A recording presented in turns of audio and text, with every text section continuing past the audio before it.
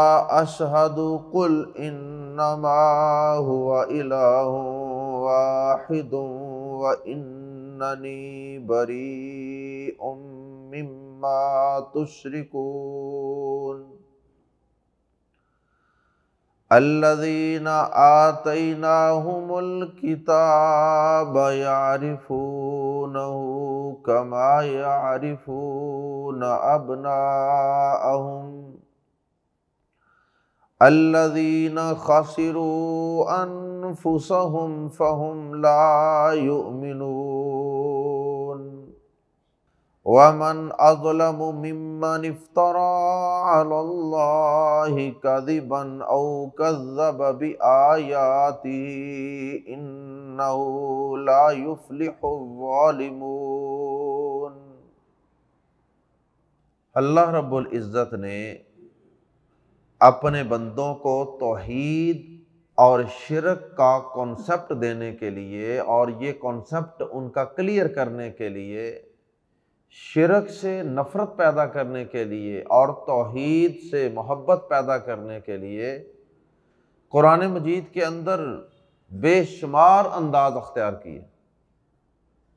कभी एक अंदाज अख्तियार किया, कभी दूसरा तरीका अख्तियार किया। कभी एक अंदाज से एक एंगल से दलाल दिए, कभी दूसरे एंगल से दलाल दिए। आयात जेर तफसीर में भी अल्लाह रब्बुल इज़्ज़त ने एक इंतहाई शानदार अंदाज अख्तियार किया है अपने बंदों को शिरक से बचाने के लिए और अपने बंदों को अकीदा तोहीद समझाने के लिए। एक बहुत ही बुनियादी बात समझाई है, और वो ये है कि अल्लाह के अलावा कोई नफ़ा नुकसान का मालिक नहीं। जब नफ़ा नुकसान अल्लाह के अलावा किसी के अख्तियार में नहीं, जब नफ़ा और नुकसान का अल्लाह के अलावा कोई मालिक नहीं है तो फिर अल्लाह के अलावा तुम्हारा कोई मुश्किल कुशा कोई हाजत रवा, कोई करने वाला, कोई औलादें देने वाला, कोई बीमारियों से शिफा देने वाला भी नहीं हो सकता।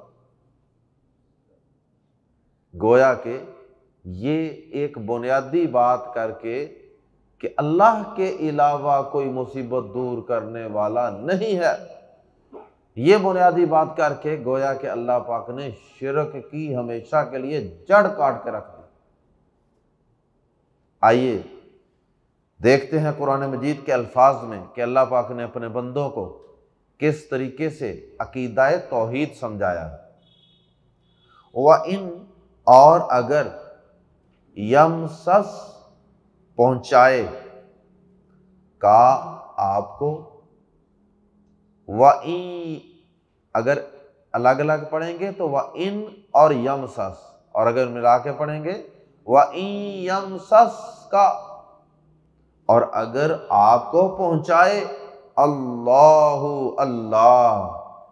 बाजर भी साथ ज़रिए। और इसका उर्दू ज़ुबान के सलूब में इस बाजर भी का तर्जुमा ना भी करें तो कोई हरज की बात नहीं। जुर्रिन कोई तकलीफ़। या ये जो बाजर भी है, ये प्रपोजिशन है। ये जो प्रपोजिशन होती हैं इन हरूफ जार की प्रपोजिशन की कभी एक ज़ुबान में ज़रूरत होती है तो दूसरी ज़ुबान में जब एक ज़ुबान को ट्रांसलेट किया जाता है तो उस वक़्त इसकी ज़रूरत महसूस नहीं भी होती। इसलिए इससे परेशान होने की ज़रूरत नहीं। वम बिजुर्रिन। और अगर अल्लाह आपको कोई तकलीफ़ पहुँचाए कोई बीमारी आ गई, कोई तकलीफ़ आ गई, कोई तंगदस्ती आ गई, कोई रिश्तों में ताखीर आ गई। फला तो कोई नहीं, फला तो कोई नहीं, काशिफा काशिफ, काशिफुन फ़ाइलुन के वज़न पे है। काशिफुन फ़ाइलुन के वज़न पे है। और जिस तरह आता ना यकशिफुसूआ कि वो तकलीफ़ को दूर करने वाला। तो ये उससे इसमुल फ़ाइल है। काशिफुन, फ़ाइलुन, तकलीफ़ दूर करने वाला। तो शुरू में ला जो है वो लाए नफी जिन्स है। फला काशिफा तो कोई दूर करने वाला नहीं। लाए नफी जिन्स ये होता है कि जब ये किसी इसम पर, किसी लफज पर आता है ना तो उस इसम पर ज़बर आ जाती है। जैसे काशिफा पर ज़बर आ गई है। ला निकाह कोई निकाह नहीं। ला सलाता कोई नमाज़ नहीं। इसी तरह ला फला का शिफा तो कोई भी दूर करने वाला नहीं। लहू उसको, किसको? उस तकलीफ़ को, उस जुर्रिन को। इल्ला मगर हु, वही। ये हुआ जो है, जब इस पर रुकेंगे तो फिर इसको हु पढ़ेंगे। इल्ला मगर हुआ वही। तो उसके सिवा कोई उसे दूर करने वाला नहीं। वम सस्कल्लाजुर्रिन फला काशिफ लहू इल्लाहू और अगर अल्लाह तुझे कोई तकलीफ़ पहुँचाए तो उसके सिवा कोई उसे दूर करने वाला नहीं। कितना ये मज़बूत अकीदा है। अगर ये अकीदा बन गया कि नफ़ा नुकसान तो मेरे रब के पास है। कोई अल्लाह का कितना ही मुकर्र बंदा भी क्यों ना हो वो भी मेरी तकलीफ़ दूर नहीं कर सकता अगर मेरा रब ना चाहे तो। अल्लाह अकबर। व इन, और अगर यम सस का वो पहुँचाए का आपको, व इन यम सस और अगर पहुँचाए का आपको, और मिला के पढ़ेंगे, व इन यम सस का, और अगर तुझे पहुँचाए, बी खैरन, कोई भलाई। और अगर वो तुझे कोई भलाई पहुँचाए, कोई खैर, कोई अच्छाई पहुँचाए, मसलन मुनाफा आ गया, मसलन अल्लाह ने औलाद दे दी, मसलन अल्लाह ने बेटा दे दिया, या अल्लाह पाक ने तंदुरुस्ती और सेहत अता फरमा दी, इज़्ज़त ओहदा मुकाम, स्टेटस अता कर दिया, कोई भी चीज़ अता कर दी तो फरमाया कि फाहुआ तो वो अला पर कुल्ली हर शईन चीज़ कदीर, पूरी तरह कादिर है। तो वो हर शय पर पूरी तरह कादिर है। इशारा है कि पूरी तरह कादिर तो अल्लाह पाक ही है। तो जब पूरी तरह नफ़े नुकसान पर कादिर और नफ़े नुकसान का पूरी तरह मालिक अल्लाह है तो फिर नफ़ा नुकसान भी तो वही पहुँचा सकता है। और अगर वो तुझे कोई भलाई पहुँचाए तो वो हर चीज़ पर पूरी तरह कादिर है, इशारा है कि अल्लाह के अलावा कोई भलाई, कोई खैर, कोई नफ़ा पहुँचाने पर कादिर नहीं है। मज़ीद अल्लाह पाक की तोहद के दलाइल का तस्करा और उसकी सिफात जलीला का तस्करा वहुवल काहिरु वहुआ और वही अल काहिरु गालिब है, ज़ोर आवर है। फौका पर ऊपर इबादी ही अपने बंदों। अब उनकी जमा इबाद, इबादी ही अपने बंदों। वहुवल काहिरु फौका इबादी ही। और वही अपने बंदों पर गालिब है। और वही अपने बंदों पर ज़ोर आवर है।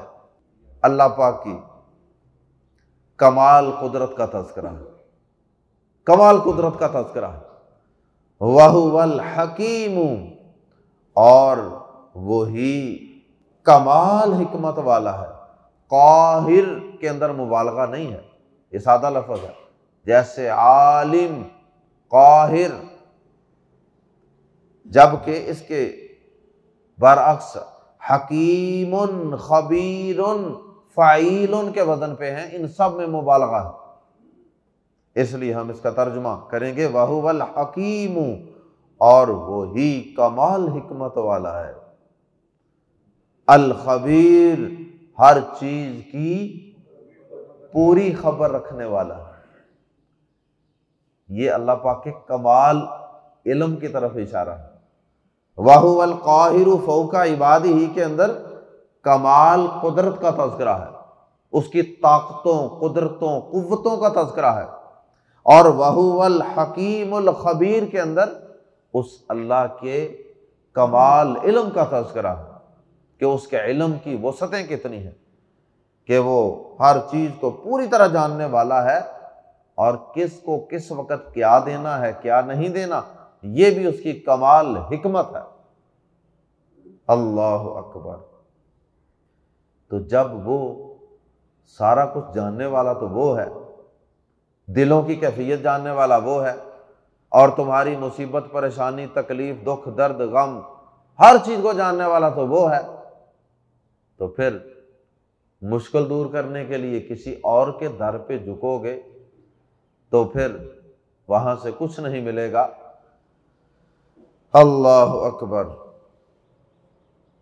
उसके बाद अगली आयत के अंदर अल्लाह पाक ने काफरों के एक एतराज़ का जवाब दिया। कुफार मक्का नबी सल्लल्लाहु अलैहि वसल्लम पे ये एतराज़ करते, आपकी नबूत और रसालत पे ये एतराज़ करते कि आप ये कहते हैं कि मैं अल्लाह का नबी रसूल हूँ, आपके ऊपर किताब आसमान से उतरी, वही फरिश्ता जबरील अमीन लेके आता है, जो मुझसे पहले मूसा सलाम, ईसा सलाम, दीगर नबियों पर लेके आता रहा। और मेरी तालीमात कोई अनोखी और कोई नई तालीमात नहीं है। वही तालीमात हैं जो शुरू से पैगंबरों पर किताबों की शक्ल में उतरती रहीं। तो काफिर एतराज़ करते, आप कहते हैं कि मैं वही रसूल हूँ, वही सिलसिला आगे कंटिन्यू हुआ है। तो आपकी नबूत और रसालत का तस्करा तो फिर इन यहूदियों ईसाइयों की किताबों के अंदर भी मौजूद होगा ना? कोई वहाँ भी तो कोई ऐसी रहनुमाई मौजूद होगी। तो ये तो यहूदी और ईसाई अहले किताब ही आपकी नबूत और रसालत की गवाही देने को तैयार नहीं। ये कहते हैं हमारी किताबों में आपका तस्करा ही कोई नहीं है। ये आप पर ईमान लाने को तैयार ही नहीं है। तो अल्लाह पाक ने फिर उसका जवाब दिया, कुल कह दीजिए ए नबी सल्लल्लाहु अलैहि वसल्लम अयु शैइन अयु शैइन कौन सी शय कौन सी चीज़? अकबरू सबसे बड़ी है। अफ आलू के वज़न पे ये सुपरलेटिव डिग्री है। अकबरू सबसे बड़ी है। शहादतन गवाही में। कुल अयु इन अकबरु शहादतन कह दीजिए, कौन सी चीज़ गवाही में सबसे बड़ी है? और फिर उसके बाद अल्लाह पाक ने खुद ही जवाब दे दिया कि, ए नबी सल्लल्लाहु अलैहि वसल्लम, आप ऐलान फरमा दें। कुल्लाहु कह दीजिए कि अगर गवाही में कोई सबसे बड़ी चीज़ है, कोई सबसे बड़ी हस्ती है तो वो अल्लाह की हस्ती है। ये यहूदी अगर गवाही नहीं देते, आपकी नबूत और सालत की ईसाई गवाही नहीं देते तो ना दें। अल्लाह पाक की गवाही सबसे बड़ी गवाही है और वो गवाही जैसा कि आगे तस्करा मौजूद है और वो गवाही ये कुरान मजीद है। अल्लाह पाक ने उनके पास आके तो उनको गवाही नहीं ना दी थी। अल्लाह पाक ने कैसे उनको गवाही दी थी कि ये मोहम्मद रसूलुल्लाह सल्लल्लाहु अलैहि वसल्लम, मेरे सच्चे रसूल हैं। ये गवाही अल्लाह पाक ने इस कुरान के ज़रिए दी थी और इस कुरान को अल्लाह पाक ने बतौर मोजा बना के उतारा था कि इस कुरान जैसी कोई किताब बनाने की हिम्मत, ताकत नहीं रखता। मजाल है कि कोई इस कुरान जैसी कोई कुरान का दुश्मन, कोई नबी सल्लल्लाहु अलैहि वसल्लम की नबूत और सालत का मुनकर इस किताब जैसी किसी किताब की एक सूरत बना के दिखा दे। ये चैलेंज अल्लाह पाक ने इस कुरान के मुतालिक उस दौर के काफरों को भी किया था और ये आज के दौर के काफरों को भी है और क़यामत तक आने वाले दुनिया के काफरों को ये चैलेंज अल्लाह की तरफ़ से मौजूद है और ये उनके कंधों पर क़यामत की दीवारों तक एक बोझ है। तो ये सबसे बड़ी गवाही है अल्लाह की तरफ़ से, ये किताब। फरमाया कि कुल्लाहू कह दीजिए कि अल्लाह की गवाही सबसे बड़ी है। शहीदुन, जो गवाह है, बैनी मेरे दरमियान, व कुम और तुम्हारे दरमियान, वो अल्लाह गवाह है। और अल्लाह ने गवाही अपने कलाम के ज़रिए, कुरान के ज़रिए दी है। अल्लाह अकबर, जैसा कि आगे तस्करा मौजूद है। कुरान मजीद का तस्करा पढ़ने से पहले एक नुक्ता यहाँ से समझने वाला है। अल्लाह पाक ने यहाँ अपने लिए शई उनका लफज इस्तेमाल किया। शयन हमारे जहन के अंदर, अपनी ज़ुबान के मुताबिक, अपने माहौल के मुताबिक तो शायद शयन का लफज किसी बेजान चीज़ के लिए इस्तेमाल होता है ना। शय चीज़। तो अरबी ज़ुबान के अंदर जो इसका कॉन्सेप्ट है, ये किसी भी वजूद रखने वाली चीज़ को कहते हैं। तो इससे ये मालूम हुआ कि अल्लाह पाक ने अपने लिए शई उनका लफज इस्तेमाल किया। और जिस तरह पहले हमने पढ़ा था कि अल्लाह पाक ने अपने लिए नफ्स का लफज भी इस्तेमाल किया। तो ये सारे अल्फाज ये बताते हैं कि ये अल्लाह पाक की सिफात है और हमने इन पर ईमान रखना है। इनकी कैफियत का हमें इलम ना भी हो तो कोई मसला नहीं।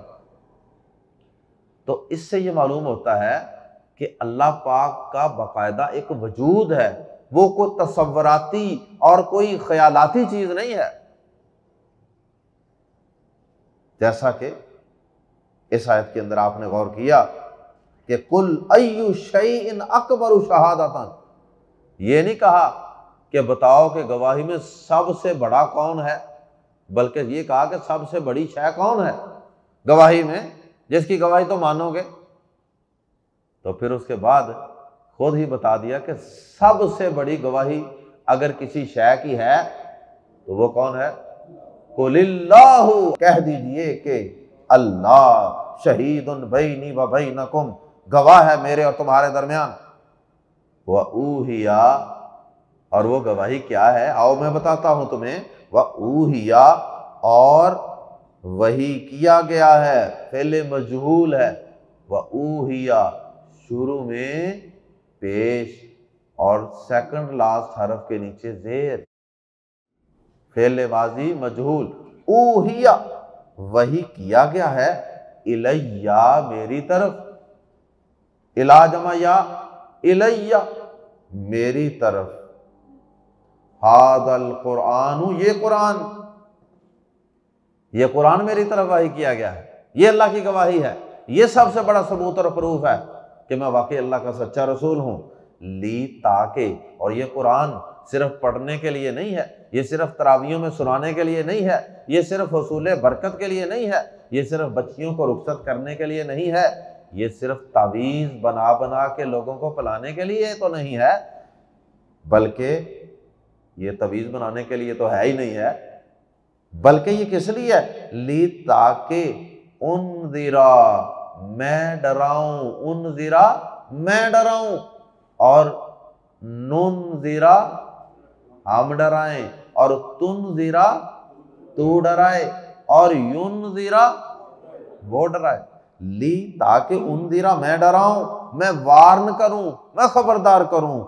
कुम तुम्हें बी ज़रिए से ही इस कुरान, भी ही इस कुरान के ज़रिए।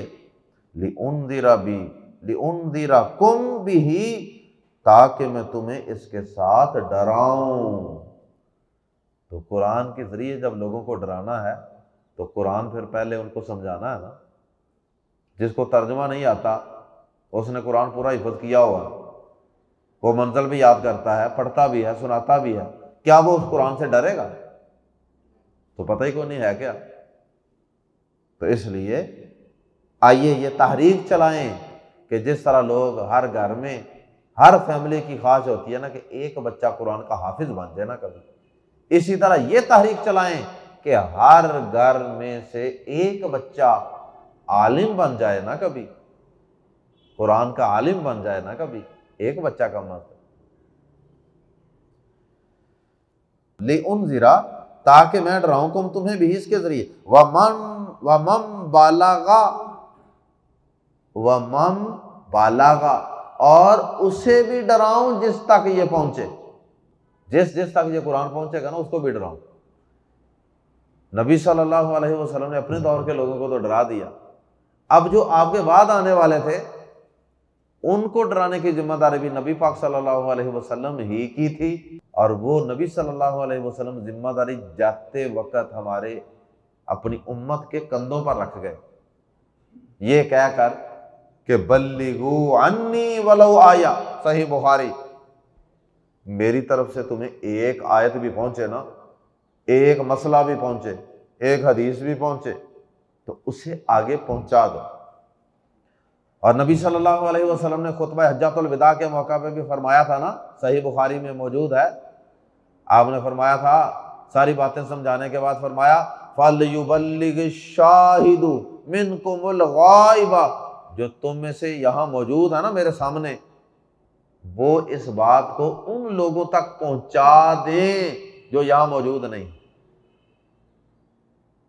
अब ये ज़िम्मेदारी फिर मेरे और आपके कंधों पर भी है कि नहीं इस कुरान को आगे पहुँचाने की?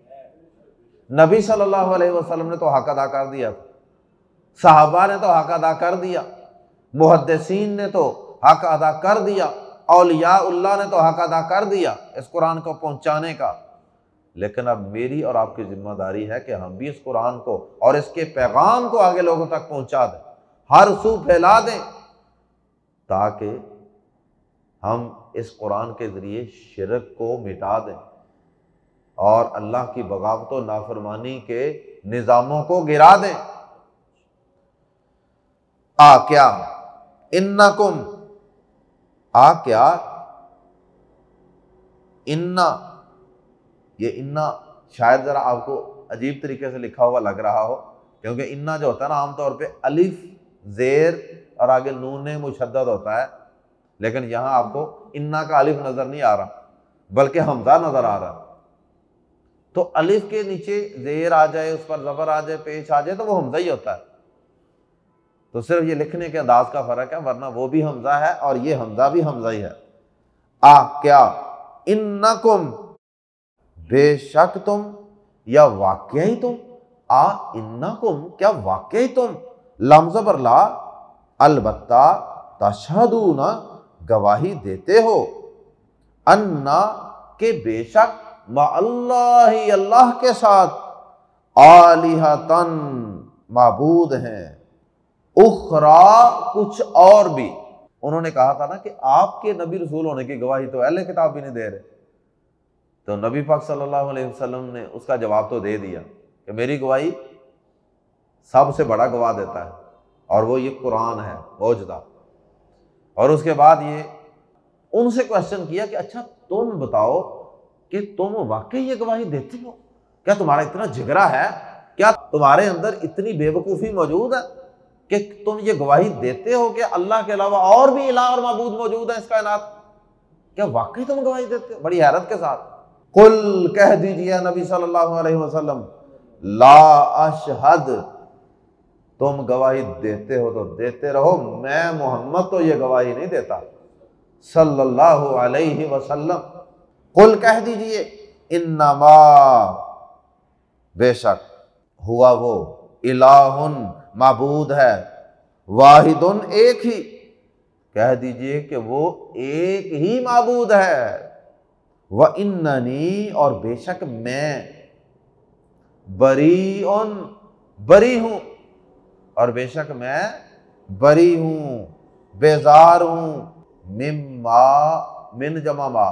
मिन से मा जो तुशरिकून तुम शरीक ठहराते हो। मैं तो कम अज कम बेजार हूँ। कितना वाज अंदाज है। अल्लाह पाक खुद भी शिरक की जड़ें काट रहे हैं। और नबी पाक सल्लल्लाहु अलैहि वसल्लम की ज़ुबान ने सादिक से भी अल्लाह पाक शिरक की जड़ें खोखली करवा रहे हैं।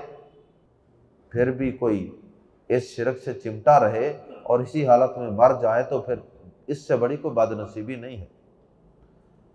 और रही बात कि ये अहले किताब गवाही नहीं देते आपके नबी रसूल होने की। आओ जरा उसकी भी हकीकत आपको बताते चलें। अल्लदीना, वो लोग जिन्हें आतना हमने दी, हम उन्हें। अल किताबा किताब, अल्लदीन आतना हम किताबा, वो लोग जिन्हें हमने किताब दी। तो रात अंजील वगैरह। या अरिफूना वो पहचानते हैं। वो इसे? इसे हमारे नबी पाक सल्लल्लाहु अलैहि वसल्लम को, इस कुरान को, कमा जैसे या अरिफूना वो पहचानते हैं अब ना हम अपने बेटों को। और ये बात सूरत बकरा में भी मौजूद वो अपने बेटों को जिस तरह पहचानते हैं ना, वैसे इसको पहचानते हैं। वो अलग बात है। वो बदयांती का मुजाहरा करते हुए कह रहे हैं कि हम अपनी किताबों में इनका कोई तस्करा नहीं पाते। तो अपने बेटों की तरह, यानी जिस तरह हर शख्स बहुत ज़्यादा बच्चों के अंदर अपने बेटे को बहुत जल्दी पहचान लेता है ना, ये एक मिसाल दी है, तमसील के ज़रिए बात समझाई। ये इस तरह आपको आखिरी नबी को पहचानते हैं, क्योंकि इनकी किताबों में बड़ा वाज और क्लियर कट आखिरी पैगंबर की प्रिडिक्शन और पेशीन कोई मौजूद है। अल्लादीन खसरू, वो लोग जिन्होंने खसारे में डाला अनफुसा हम अपने आप को, फहम तो वो ला ईमान नहीं लाते, ईमान नहीं लाएँगे। तो जिन लोगों ने अपने आप का बेड़ा गर्क करने का तहिया कर रखा हो, अपने आप को जहन्नम का बालन और ईंधन और फ्यूल बनाने का अज़म और इरादा ही कर रखा हो तो फिर वो लोग तो किसी सूरत ईमान नहीं लाए वमन अजलमू, और कौन बड़ा जालिम है? अजलमू अफआलू सुपरलेटिव डिग्री है इसमें तफसील। वमन अजलमू, जालिम होता है ना जुल्म करने वाला, और अजलम सबसे बड़ा जुल्म करने वाला। वमन अजलमू, और कौन ज़्यादा जालिम है, कौन बड़ा जालिम है? मिमन उससे जो, या उससे जिसने इफ्तारा बांधा। अल्लाह अल्लाह पर काजी बन कोई झूठ नकिरा है। काजी बन कोई झूठ। और उससे ज़्यादा जालिम कौन है जिसने अल्लाह पर कोई झूठ बांधा? औ कजाबा या उसने जुटलाया? बी को आयाती ही, उसकी आयात को, अल्लाह की आयात। कजाबा जिसने जुटाया उसकी आयात को। यानी तोरात अंजील के अंदर जो मौजूद निशानियाँ थी आखिरी नबी की, वो भी तो आयात ही थी ना? उनको जुटला दिया। यह भी मुराद हो सकता है। और जो तीस झूठे दज्जाल और झूठे नबी आए थे। वो भी इसमें मुराद हो सकते हैं, वो भी इसमें शामिल हैं। और फिर वो झूठा नबी एक हमारे इस खत्े के अंदर जो आया था कादयानी वो भी इसके अंदर दाखिल है। इन सारे लोगों ने, तीस झूठे नबियों ने और इस झूठे नबी ने अल्लाह पाक पर बहुतान ही बांधा। बहुतान ही है ना कि जी, मेरी तरफ़ अल्लाह ने वही भेजी है, मुझे अल्लाह ने रसूल बनाया। अल्लाह के याद को जुटलाया और अल्लाह पर बहुतान बांधा, झूठ बांधा। इन बेशक हकीकत ये है, इन्ना के बाद जो हु है ना, इससे मुराद कोई शख्स नहीं है, इसको ज़मीर शान कहते हैं। इसका तर्जमा करते हैं, हकीकत ये है कि, बात ये है कि इन बेशक, बात ये है कि, बेशक हकीकत ये है कि ला युफलिहु नहीं फला पाते।